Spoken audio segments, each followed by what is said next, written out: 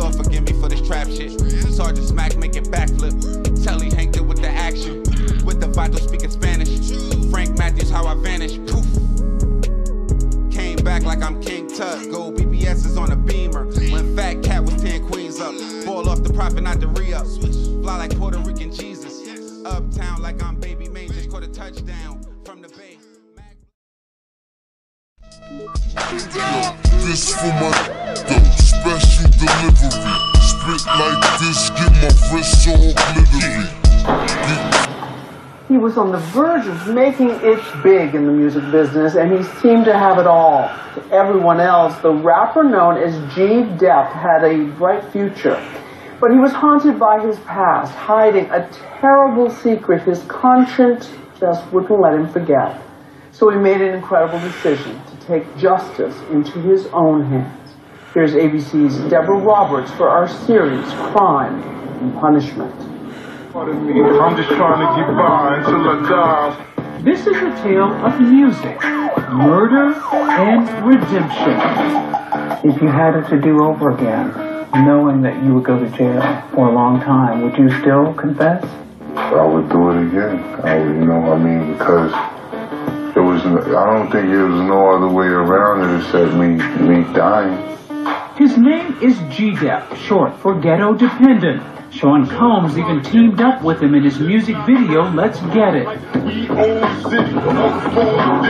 He led a gangster life and glorified it in rhyme. And he paid a great debt for committing a crime, betrayed by the last person anyone would have suspected, himself. This night we were looking to, to get- get some money, you said. Yeah. And, uh, I, I, I rode, I rode the bike over, I rode the bike in the, in the neighborhood for a, like a couple of minutes. Then I just, uh, went to, I went towards Park Avenue and I saw a guy standing there. Uh, smoking like he was smoking a cigarette or something like that. And uh, I, I just approached him. I got off the bike and I approached him. He didn't seem like he saw me, so you know I just approached him. And then when I when I approached him, I asked him where the money was. How he got there is a story in itself.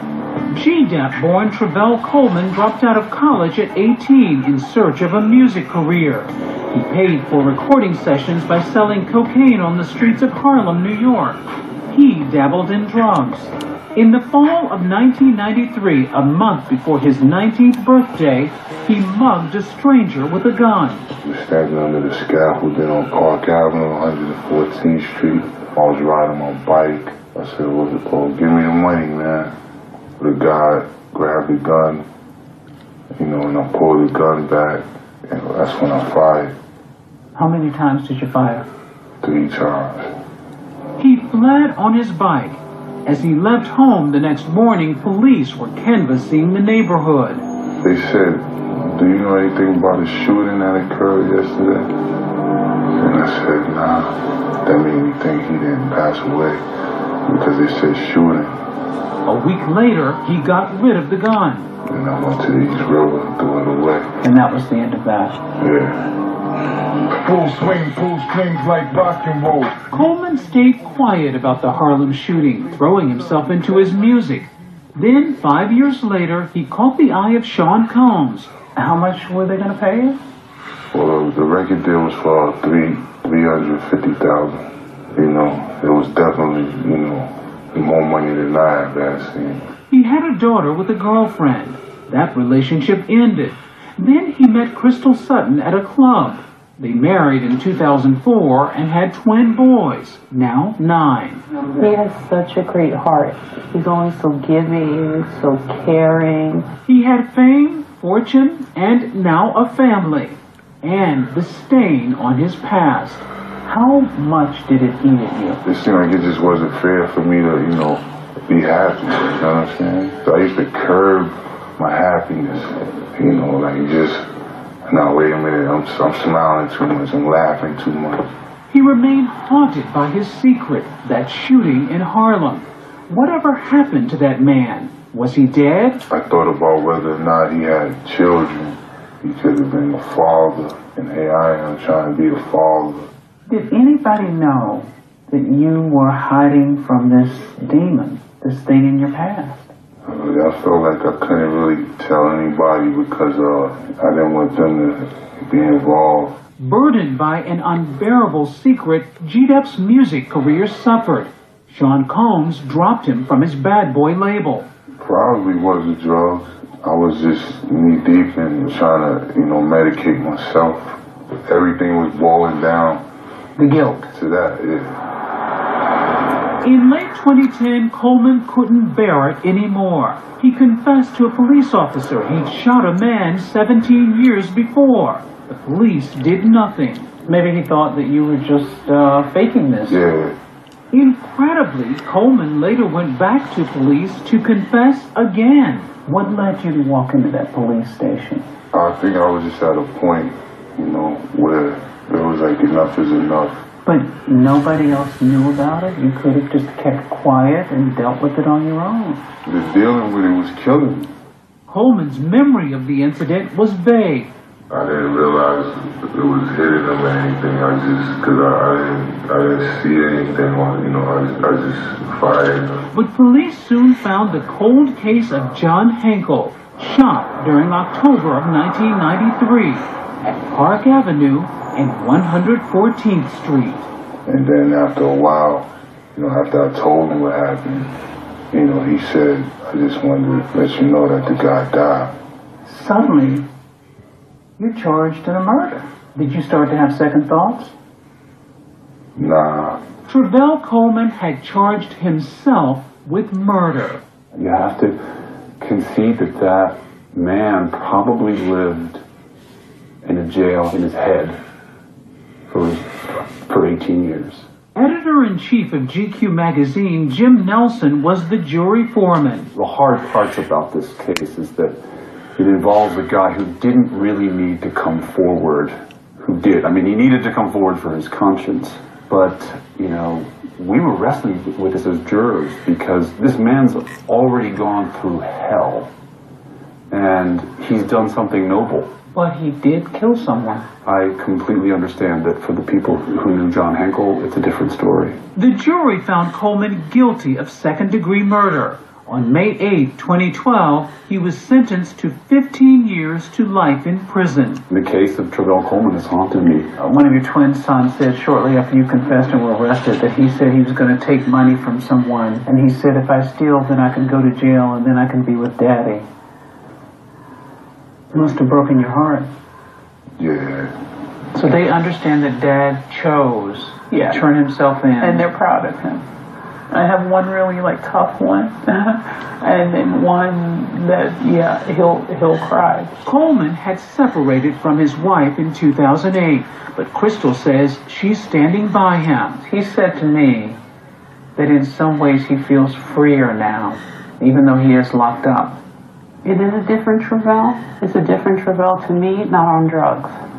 I mean, he feels freer, and that that you can tell when talking to him. Do you think he made the right decision? And whatever decision Trevell chooses to make, and I have to stand by him. There are relatives of this victim who can't believe that you confessed. Some of them even say he's an idiot. He should have shut up about it. Now we're dredging this whole thing up again all these years later. A lot of the burden is lifted. You know, I see that that was what I needed to do.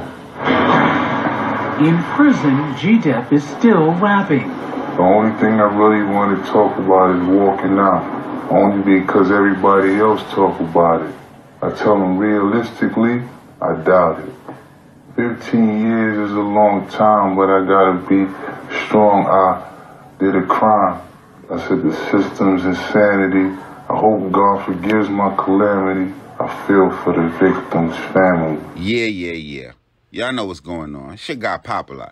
We back on mob business. This is an NYC story. Y'all meet us uptown in Harlem at James Weldon Johnson houses. Now, today I'm gonna do my absolute best to tell y'all the story about a guy who at one time I considered to have the world at their doorstep.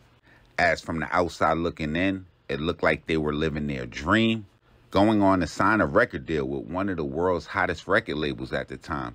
And shit, probably going on to have one of the hottest songs released in the year of 2001. But what I couldn't see looking at the TV screen was the demons that he was fighting. Growing up without a mother or father, leaving his grandmother to raise him. He would what we call beat the odds, but it would be a long time PCP addiction and a dark secret that would shake his world. And that person that I'm talking about is going to be somebody I'm sure some of y'all are going to be familiar with. It's going to be a guy by the name of Trevell Gerald Coleman or G-Dep or Ghetto Dependent.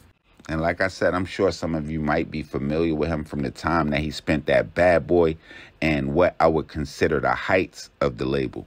Now, G-Dep, who I'm sure has always been a street dude, got into the music early in the 1990s.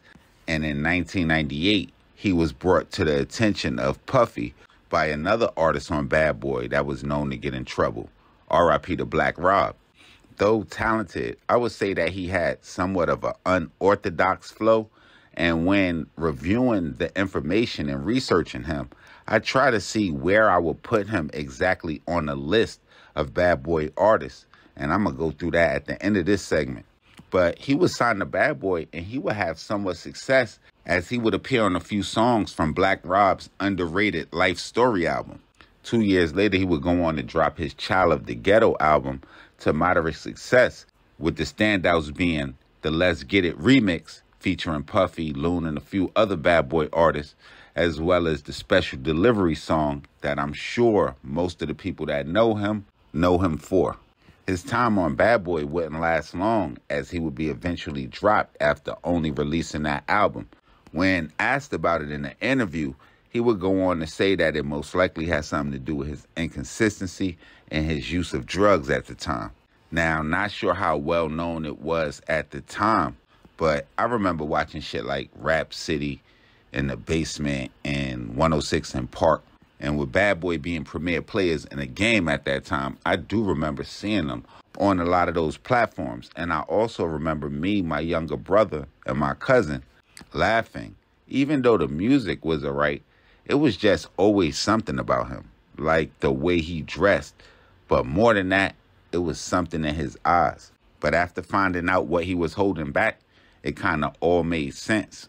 In an interview with The Vibe in 2011, after being asked what kind of drugs he would partake in, she would admit PCP, dust is what everybody calls it, saying that she took him to rehab after rehab. She tried everything and she don't know a lot about drugs because she has no one in her family that dealt with that, but she's tried everything possible.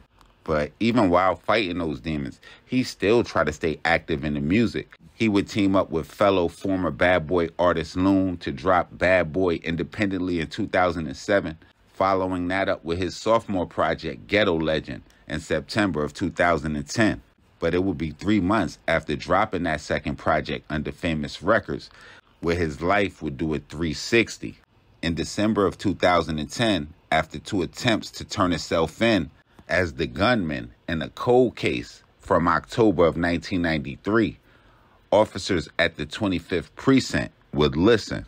And this would be the time when you would have to ask yourself, did the murder fuel the drug use or did the drug use fuel the murder? But they ain't care to hear about none of that on April 17, 2012, when he would be convicted of second degree murder and sentenced to 15 years to life in prison.